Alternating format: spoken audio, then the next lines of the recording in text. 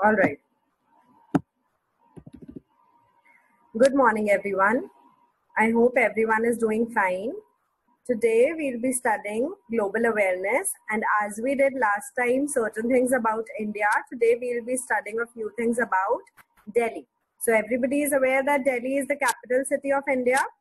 So, other than that, we'll be studying a few more features about Delhi, the different aspects of Delhi. So, here we go. All right. So if we study about the India's historical city, Delhi, that means it's not a newly built city. It's a very old city in India as a part of India. And it has one of the most historic moments or historic uh, events that it has ever had in the past.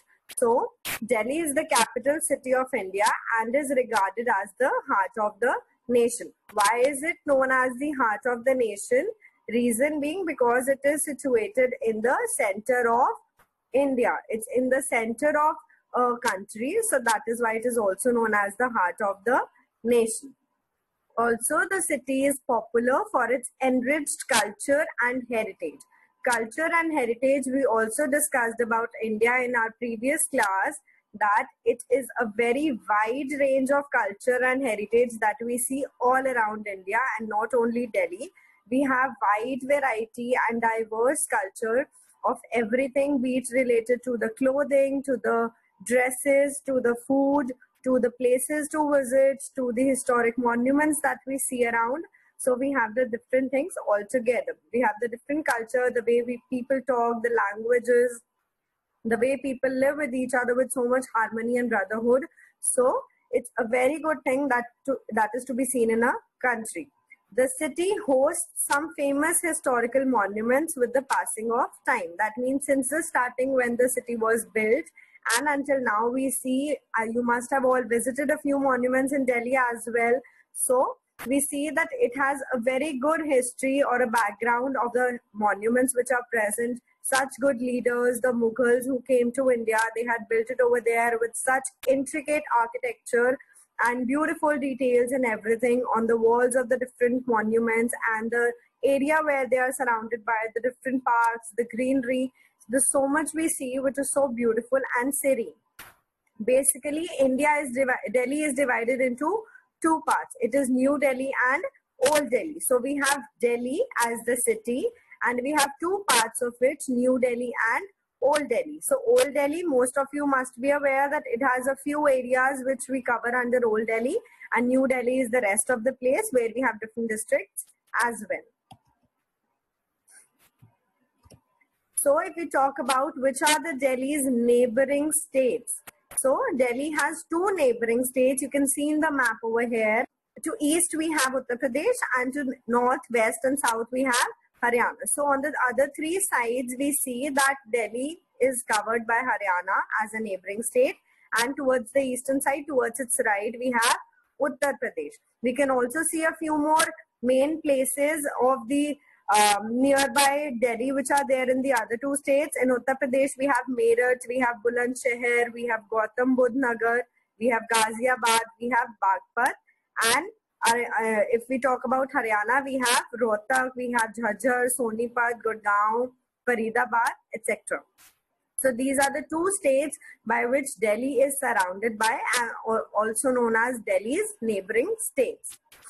Okay, if we talk about on which river is Delhi situated. So Delhi is situated not completely on the river of river Yamuna, but only on the western banks of it. That means uh, it's a very huge river, it's a tributary of Ganga, but it is only situated on the western side, on the western banks of the river Yamuna, and not on the complete overall river.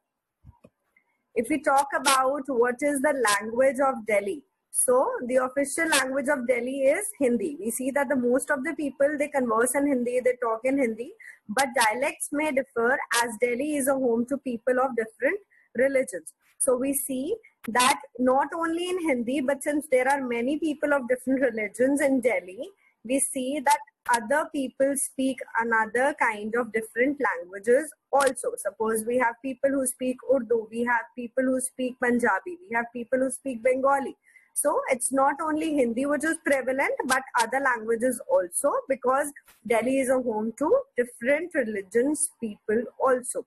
Then we have English has become a widely used medium of communication in the capital city. So not only in Delhi, but English has been such a language now which has been used for the communication all around the globe, which is becoming more of a common language to everyone. And that is why we see that it is the most commonly used language as well nowadays. If we talk about what is the, how is Delhi known as? What is the sobriquet of Delhi? So sobriquet is basically a phrase which is used for either a place or any other thing to define it in some way.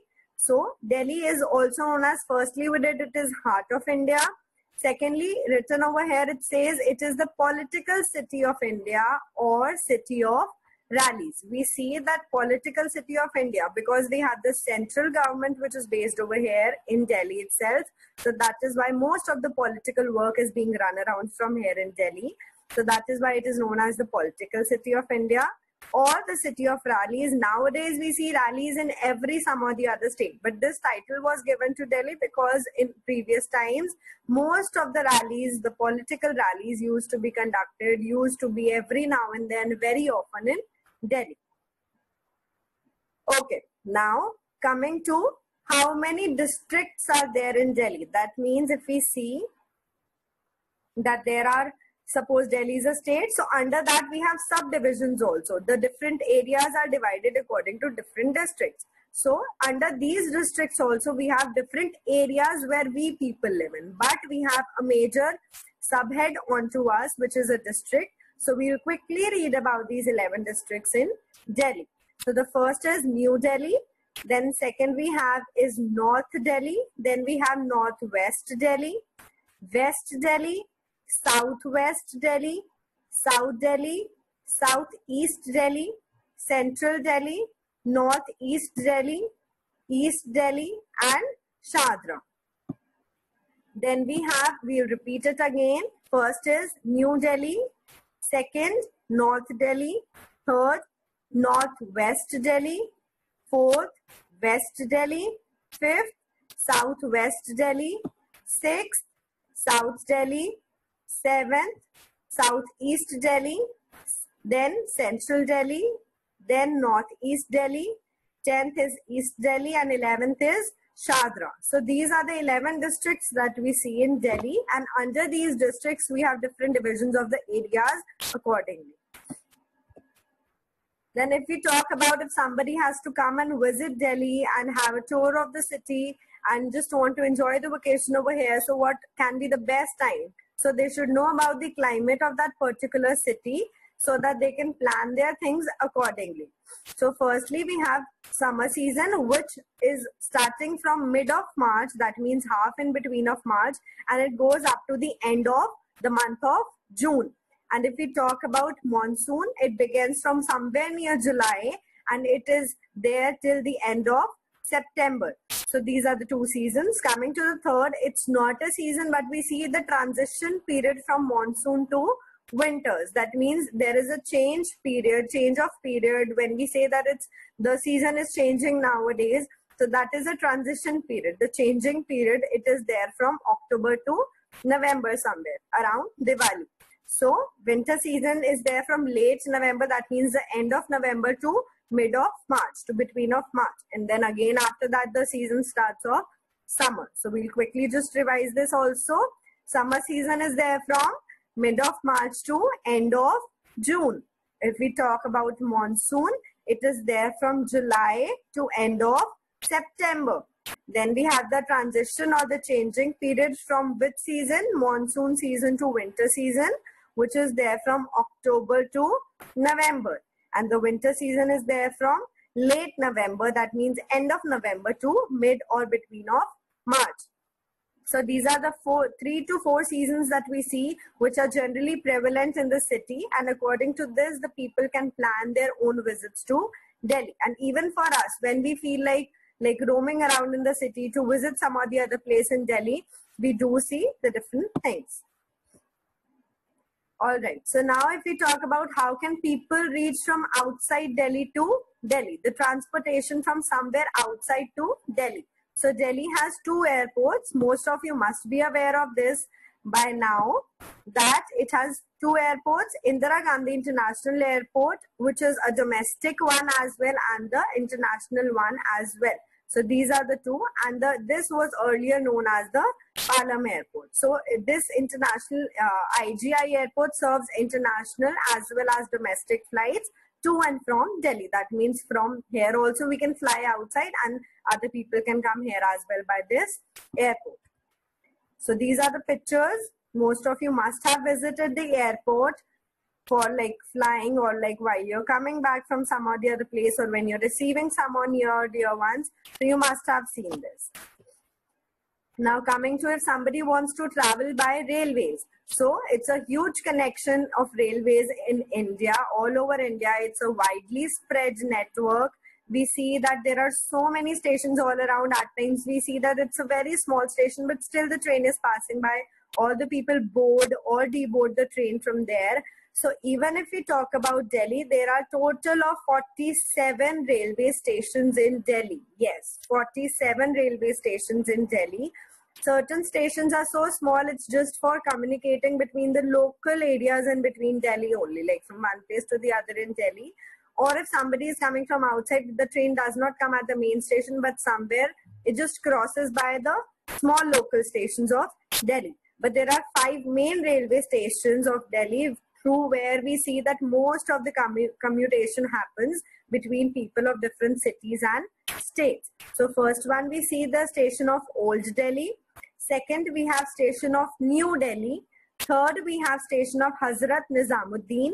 Fourth we have station of Anand Vihar Terminus. It is not terminal, it is terminus. Then we have fifth one which is Delhi Sarai Rohilla. I will repeat again now. First station is Old Delhi. Second station is New Delhi. Third station is Hazrat Nizamuddin. Fourth station is Anand Vihar Terminus. And fifth station is Delhi Sarai Rohilla. So these are the two stations. The upper one we see is the of New Delhi and the second one we see is written only Delhi. So it is only of Old Delhi. It is not of New Delhi. So this below one is of Old Delhi and this above one which we see is of New Delhi. So now, if we see that people have to transport, uh, take transport in between of Delhi only, like inside Delhi. So, how are the different ways through which people can commute inside Delhi? So, we see that there are so many local transports available around. We see that New Delhi has one of the India's largest bus transport systems. We see so many buses running around, and most of them are owned by who? By the state owned Delhi Transport Corporation, which is also known as DTC. And these are the largest fleet of CNG buses. What is the full form of CNG? Compressed natural gas. It's an eco-friendly fuel. So these buses are fueled with CNG and they are running all over Delhi. And these are the largest group. So fleet means the largest group of buses in the world. Other than the buses, what do we see around? We also see the private vehicles which are owned by the people. We see cabs, we see rickshaws, we see auto rickshaws. We do see certain e-rickshaws also nowadays, the battery rickshaws which we call around. So these are the commonly running vehicles on the roads of Delhi. Other than that, what is the public most used public transport nowadays since it's coming into being, which is Delhi Metro.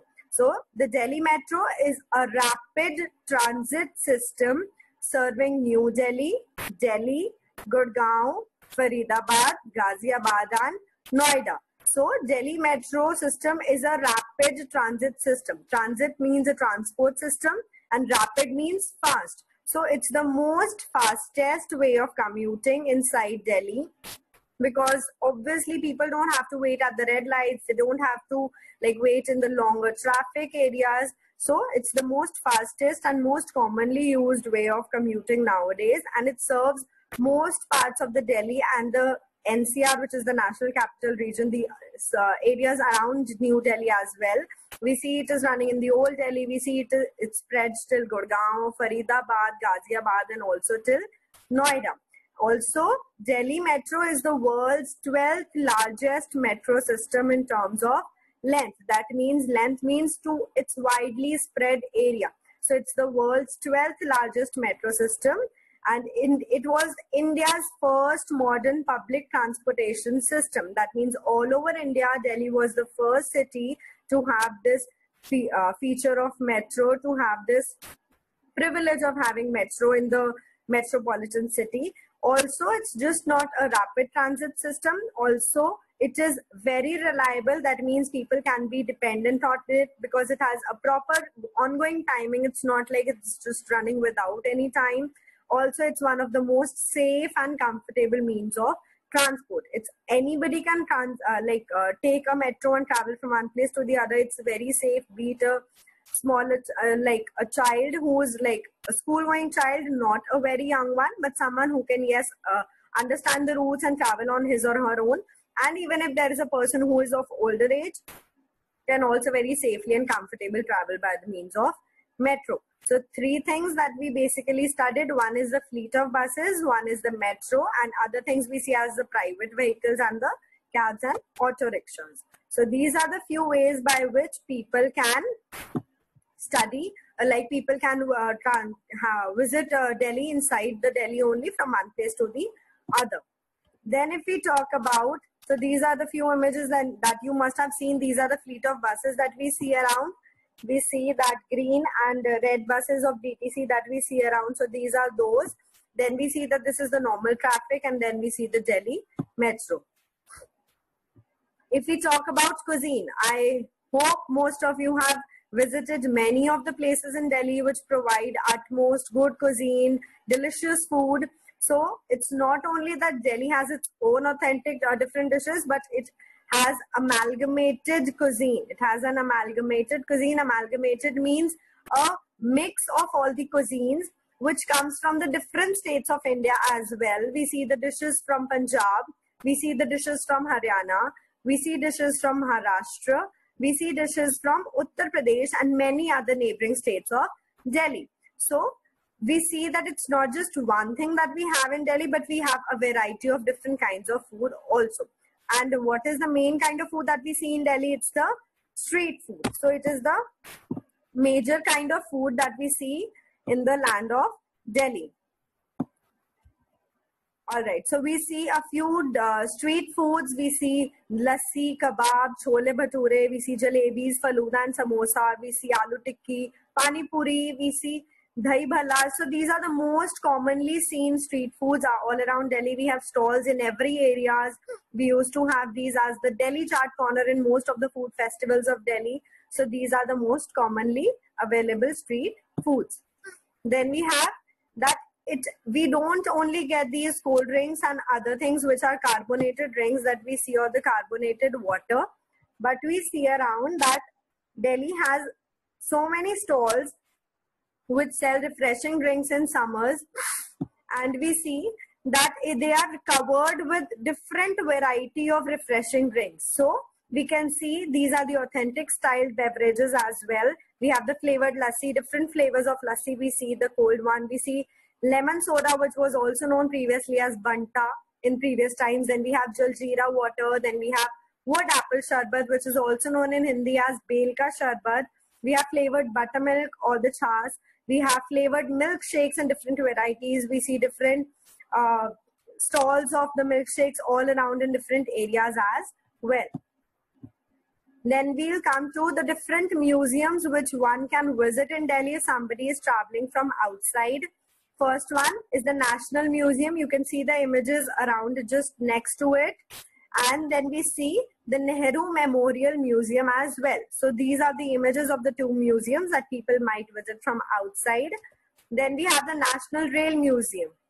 Images given. Then we have the Na National Police Memo Museum. Most of you must have visit, uh, visited this as well from the school, right? So this is uh, another place which is newly built in Delhi. Then we have the International Doll Museum. This is one such place I hope everybody has visited in their childhood. And then we have the National War Memorial as well, where most of others, people and students of our school as well went over there. to visit this newly built place, which is a very good one as well. Then coming to the different monuments of Delhi. Why are they known as the monuments? Reason being that they are preserving the historical culture of Delhi. These were built by certain kings during previous times, hundreds of years back, and they are still preserved as the heritage sites as well, few of them. And they are such a huge attraction for the tourists who visit Delhi because these this represents the culture and historic moments of Delhi. So first one, if we talk about it, is Humayun's tomb. It is also UNESCO World Heritage Site. So it's a home task for you all to find the meaning, find the full form of the word UNESCO, right? Now, second, we have Qutub Minar. Most of you must have visited this as well in your childhood. Then we have third one as Safdarjung's tomb. Then we have Red Fort. Then we have Jama Masjid, Purana Killa, Tughlaqabad Fort is somewhere outside Delhi, nearby Delhi in Tughlaqabad area. Then we have Jantar Mantar, which is near Janpath in CP. We have India Gate. Most of you must have visited this place so many times uh, in your childhood as well. Then we talk about Mehrauli Archaeological Park. So this is one of the another monuments of Delhi where we have a huge area where just the structures are built and the intricate designs of different tombs as well if we talk about the famous markets of Old Delhi. So if we talk about only Old Delhi, the famous markets and what are they famous for over here, we'll talk about that now. So first we'll talk about is Bhagirath Palace. So Bhagirath Palace is a place in Chandni Chowk. It's the Asias. Asia is a huge continent where India is there and in India we have Delhi. So it is Asia's largest wholesale market for lamps and light fixtures that we see different kinds of lights being provided over there different kinds of chandeliers being shown over there from a smallest light to a bigger light. We see huge variety of those. Then we have kinari bazaar. Again it's in chandni chowk and it gives us the diy do it yourself material for art and clothes. That means for different art and crafts we get different materials we get packing materials and we see different uh, materials related to the clothes as well. Then we come to Chabdi Bazaar, which is again in Chandni Chowk. It's again a wholesale market. Most of the markets in Old Delhi are the wholesale markets only. They don't provide the things in retail. They provide the details only in the bulk quantity. Right? Then we have uh, it's a wholesale market for brass and copper articles and wedding invites. That means different articles, different objects of the metal, which is brass and copper, and also from these things, which are the wedding invites which people use, the wedding cards which people use in their marriages. Then we have Khari Baoli in Chandni Chowk again, which is the again the Asia's largest wholesale spice and dry fruit market. That spices are being provided over there in wholesale it's a very huge market over there in Old Delhi. The next one, if we talk about, we have Dariba Kalan in Chandni Chowk. It is Delhi's very own silver jewelry market. So it's only a market which provides you only with different kinds of silver jewelry. Then we have Nai Sadak in Chandni Chowk, which provides you with the stationery items and the book supplies, like books from of any class till college to entrance exams to whatnot. All the things are supplied over there. Then we have a few shopping markets of New Delhi. Most of you must be aware about it by now. We have Lajpat Nagar, Karol Bagh, Janpath, which is in Connaught Place. We have Delhi Haat in INA. We have Khan Market and Sarojini Nagar and many more nearby your areas. So now we'll quickly have an overview of Delhi by this video.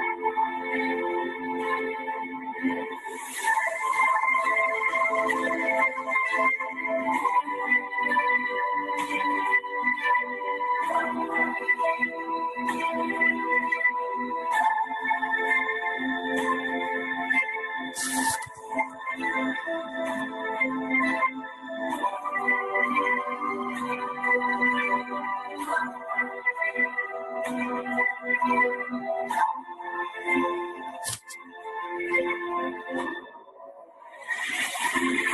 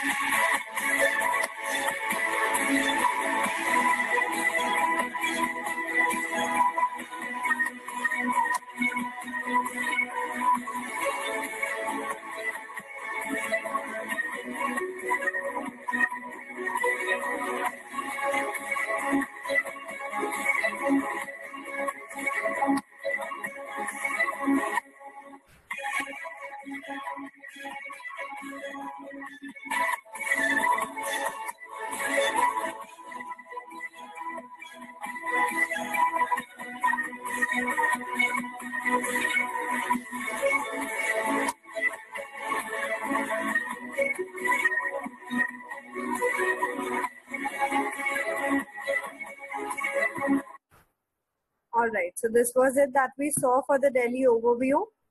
Now there is a home task for you all that you need to watch this link below which is given. There are the different monuments of Delhi which are there along with the history that how were they built and when were they built or who had built them. So you need to study about that and you need to find the full form of UNESCO as well. Other than that, parents can send their feedback again on the school email ID which is manavds at the rate yahoo.co.in about the class and how was it. Thank you so much for being so patient and listening nicely, children.